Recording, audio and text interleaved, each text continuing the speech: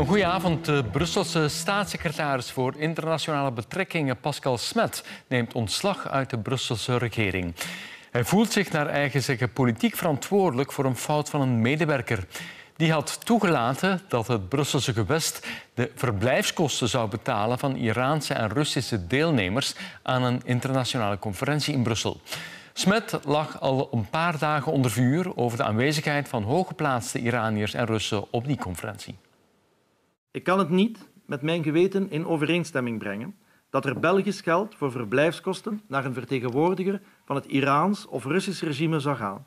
Omwille van de verblijfkosten, de fout die mijn medewerker begaan heeft, maar die ondertussen hersteld is, heb ik beslist om met ingang van middernacht ontslag te nemen als staatssecretaris. De burgemeester van Teheran was de voorbije dagen in Brussel voor een internationale conferentie van burgemeesters. Brussels staatssecretaris Pascal Smet was mede-organisator. Ook de adjunct-burgemeester van de Russische stad Kazan nam deel aan de conferentie. Smet lag vrijdag onder vuur in het Brussels parlement, want was het wel verstandig om deze mensen van omstreden regimes uit te nodigen? Smet verdedigde zich toen nog, maar toen hij achteraf aan de weet kwam dat een medewerker, zonder dat hij het wist, groen licht had gegeven om de hotelkosten te betalen, beslist hij vandaag om op te stappen. Dat we anderen dan zouden doen. Zeggen, ik heb mijn medewerker ontslaan, ik heb mijn verantwoordelijkheid genomen. Maar ik vind het nu wel iets te ernstig met alle commotie die er rond zit en alle dingen, dat ik vind, ik moet zelf mijn verantwoordelijkheid nemen. Oppositiepartijen N-VA en Vlaams Belang vinden dat ook minister van Buitenlandse Zaken Labib ontslag moet nemen, omdat haar departement een visum afleverde aan de delegaties uit Iran en Rusland. Het is nu uitkijken naar wie Pascal Smet zal opvolgen als staatssecretaris. Het is aan de Vlaamse socialisten om daarvoor iemand naar voren te schuiven. Dat zal morgen gebeuren.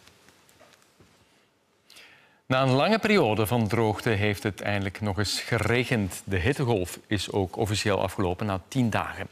Bij het KMI in Ukkel is er 32 dagen lang geen druppel water gevallen. Maar gisteravond kwam er dan toch nog wat neerslag. Ook vanavond en vannacht worden er nog buien verwacht met kans op onweer. Het KMI heeft code geel afgekondigd voor de provincie West-Vlaanderen, maar ook in de rest van het land uh, kunnen er onweersbuien plaatsvinden. Hebben we nu een droogterecord gebroken?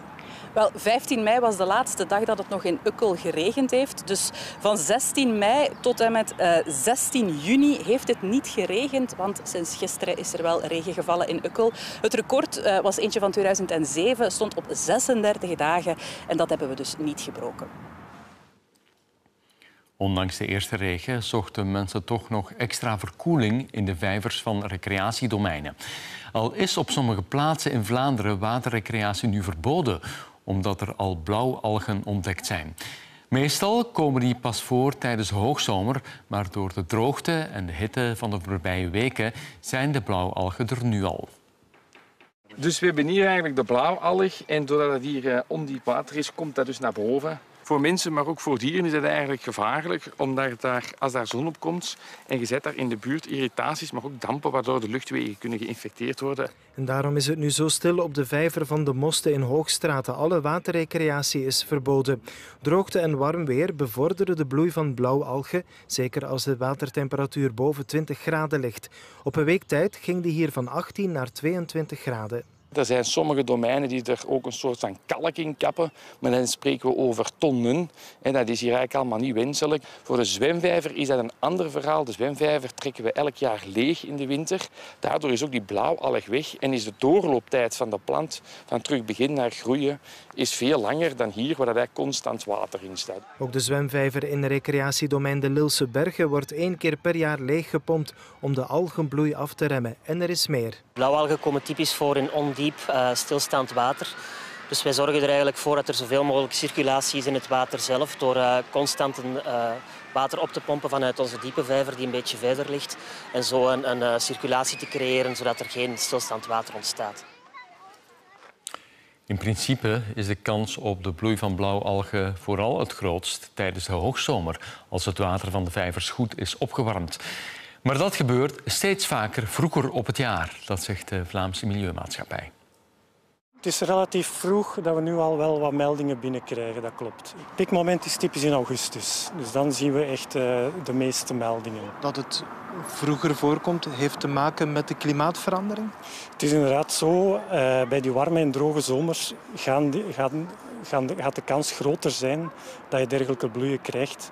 En uh, we weten dat we de komende jaren meer en meer kans zullen krijgen op dat soort zomers. En dus ook meer kans op blauwallen.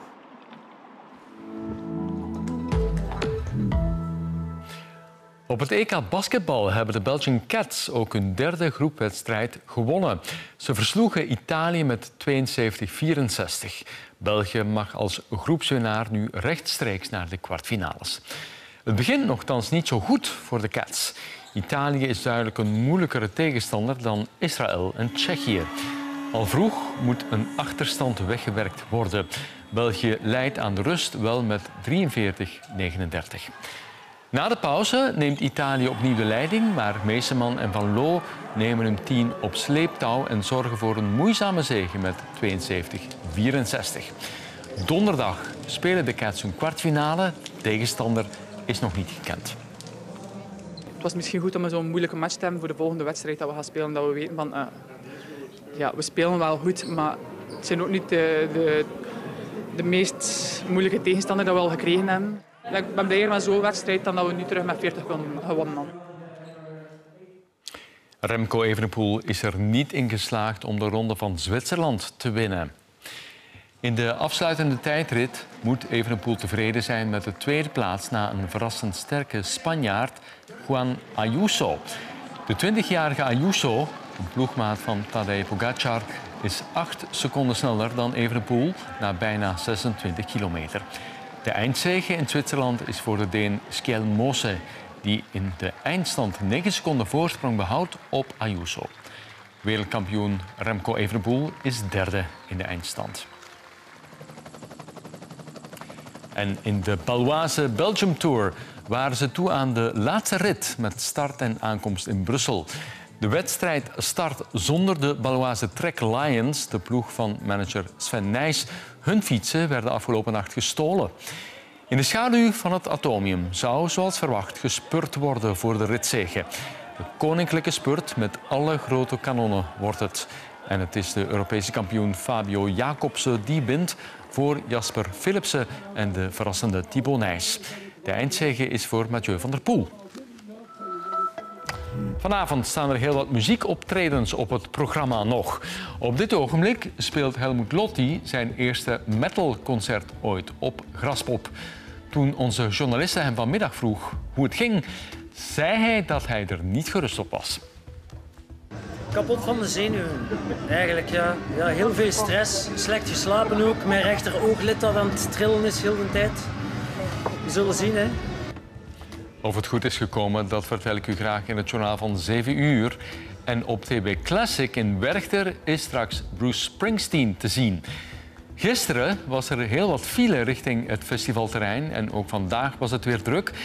Maar mensen waren gewaarschuwd en vertrokken op tijd om zeker niets van het concert te missen. Graag tot straks.